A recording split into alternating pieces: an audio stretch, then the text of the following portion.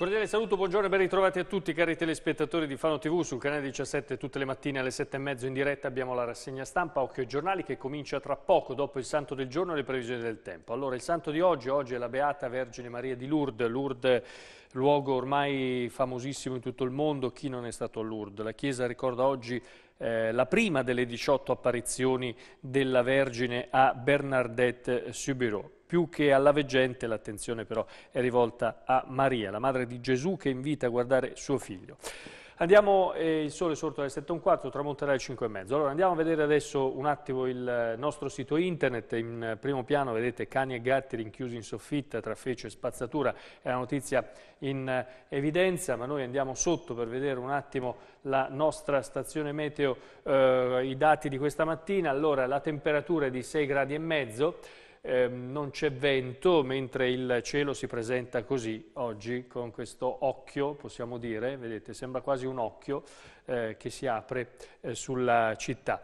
Oggi avremo il cielo parzialmente nuvoloso con alternanza di schiarite ed annuvolamenti più consistenti in particolare nelle ore centrali della giornata, avremo anche deboli sparse precipitazioni più probabili nelle zone interne nelle ore centrali della giornata. Il limite delle nevicate è sopra i 1000 metri, le temperature sono in diminuzione per domani, venerdì 12, vedete il tempo peggiora, avremo dal pomeriggio deboli precipitazioni sparse nelle zone interne e nevicate attorno ai 1000 metri.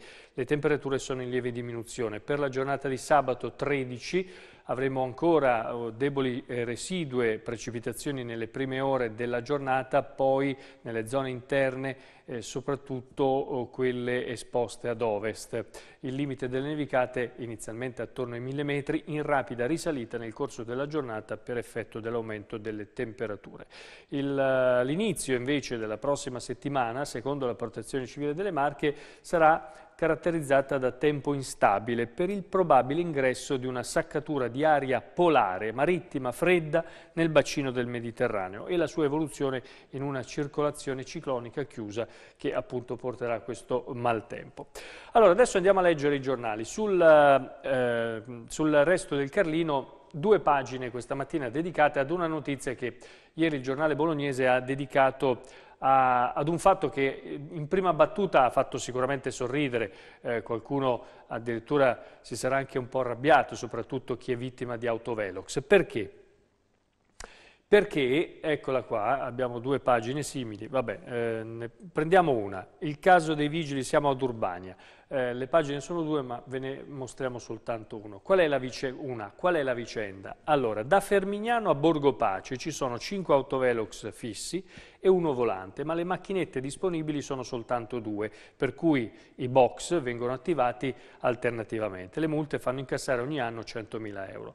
Eh, che cosa è successo? Che in questi autovelox, in uno di questi cinque autovelox, è stato pizzicato anche il vice comandante dei vigili, Carlo Brizio, eh, e il capitano Daniele Intiar. Eh, sono stati multati fuori dal servizio per eccesso di velocità proprio dai loro autovelox. La reazione qual è stata? La reazione è stata questa.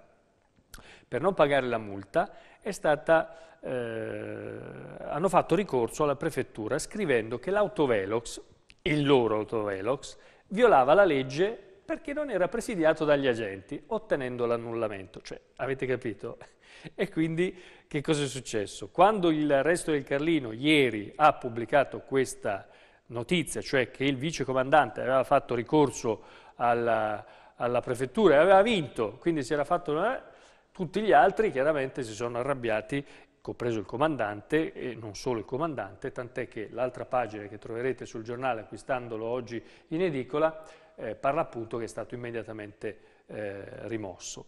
E c'è adesso invece la rabbia anche di chi ha pagato quelle multe. Noi tartassati, gli altri fanno i furbi. Parlano gli autisti pizzicati dall'autovelox che non hanno fatto eh, ricorso. E eh, qui intanto vedete eh, al vertice eh, il sindaco di Borgo Pace che è anche presidente dell'Unione Montana dell'Alta Val Metauro, cioè Romina eh, Pierantoni. E pensare, dice per esempio Eleonora di Urbania, e pensare che ho conciliato subito per risparmiare 500 euro sul eh, totale. L'Unione Montana ipotizza anche danni d'immagine, gli decurteremo anche lo stipendio. Eh, si dicono stupiti e amareggiati, eh, si definiscono gli otto sindaci che hanno firmato la nota appunto dopo aver appreso eh, questa, questo scandalo, diciamo così. Allora, la pagina di Fano, invece, guardate in che, in che situazione sono stati trovati, dove vivevano questi eh, 19 gatti eh, scoperti guard dalle guardie ecozoofile in un appartamento di eh, Fano, vivevano in una soffitta.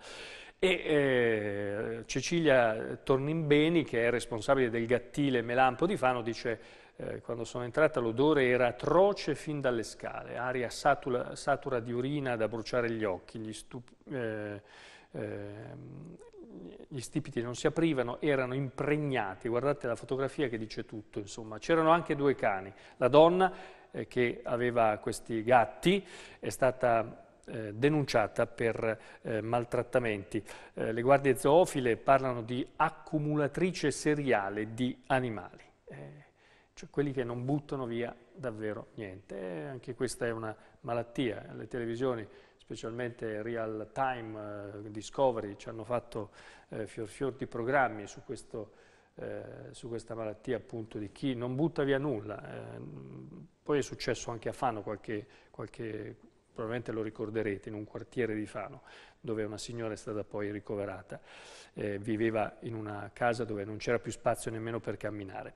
Mille camper, parliamo di carnevale, mille camper si fa il bilancio chiaramente, pochi spazi, 3.000 turisti eh, itineranti eh, conquistati dalla Kermesse, quindi dal carnevale, ma il camping club protesta perché appunto, eh, dice il presidente di Ottallevi, bisogna riorganizzare il settore a beneficio eh, di tutti. Poi la giornata del ricordo ieri, le foibe ci insegnino a riaffermare i valori della convivenza, la testimonianza dello scrittore profugo eh, fiumano Daniele Zandel durante il Consiglio Comunale.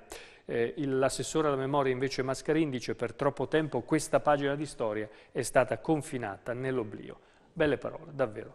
Allora, adesso invece andiamo a parlare di Sanremo perché eh, Giuseppe Ottaviani di Sant'Ippolito, dopo il Festival di Sanremo, è andato anche alla vita in diretta, l'altro programma del pomeridiano della RAI, adesso mi chiedono, dice, gli autografi, l'abbiamo visto, chi lo segue anche un po' su Facebook avrà visto insomma, qualche scatto qua e là di Ottaviani in giro per la città, eh, dei fiori. E, appunto firma gli autografi, insomma la gente lo ha riconosciuto, ieri il festival è stato seguito, ieri l'altro è stato seguito da 11 milioni di persone, il 49,% di share, numeri che non si fanno più, eh, si fanno solo in certe occasioni, ecco, forse Sanremo è la finale dei mondiali.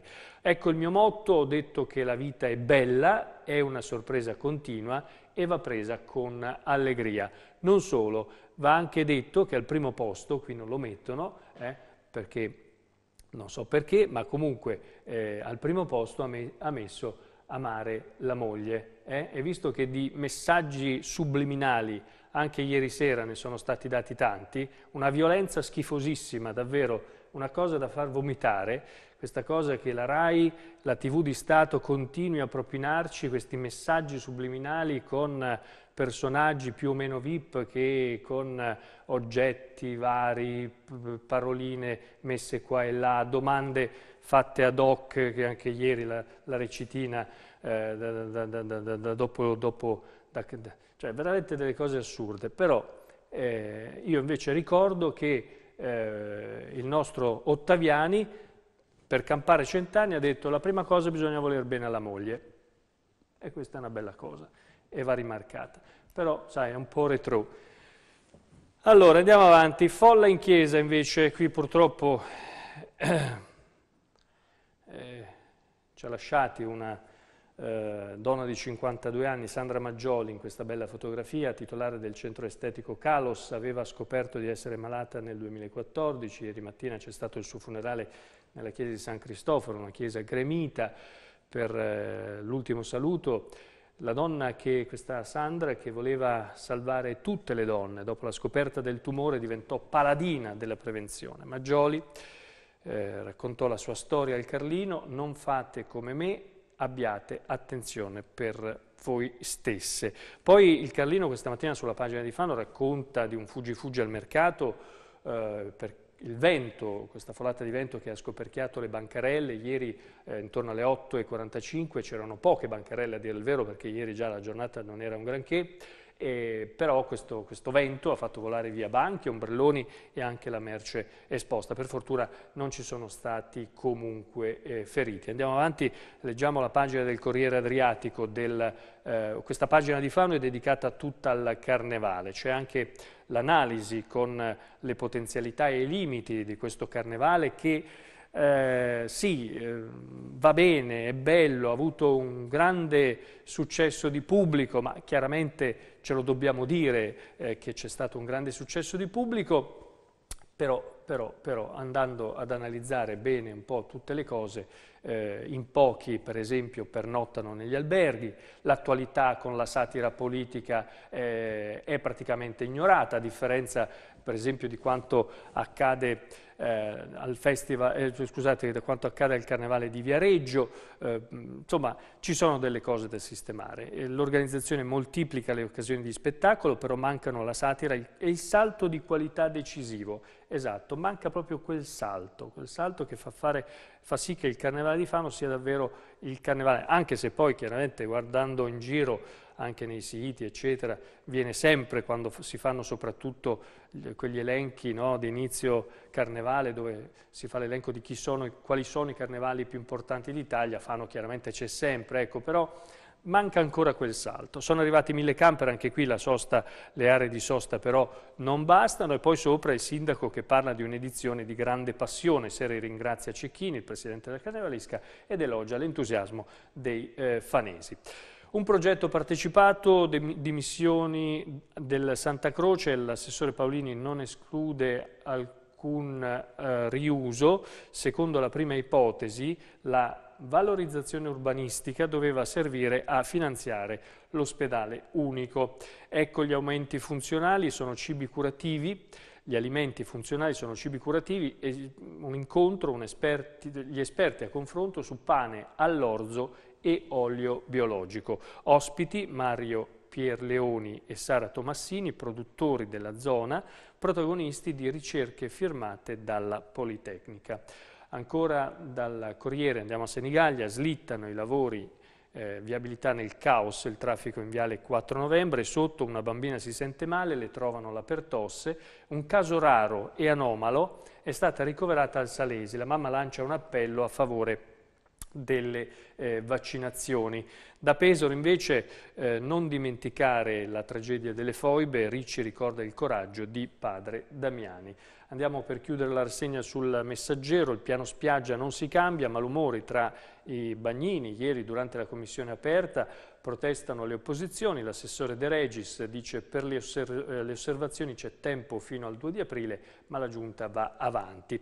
Poi l'atleta centenario incanta Sanremo e si mette a cantare, Ottaviani di Sant'Ippolito duetta con eh, Carlo Conti, poi si esibisce in vecchio scarpone. Inverno pazzo, sembra autunno, eh, c'è anche qui, eh, come sempre, tutte le mattine sul messaggero a fondo pagina eh, ci sono le previsioni del meteorologo Fazzini. Poi si parla di Banca Marche, indagine a tappe forzate anche sui danni all'economia e poi sulle razzie nella notte in due tabaccherie e in un'azienda. Eh, siamo a Pesaro, nei bar hanno portato via sigarette, grattini e contanti, il bottino sfiora i 25.000 euro, rubate anche una eh, cassaforte.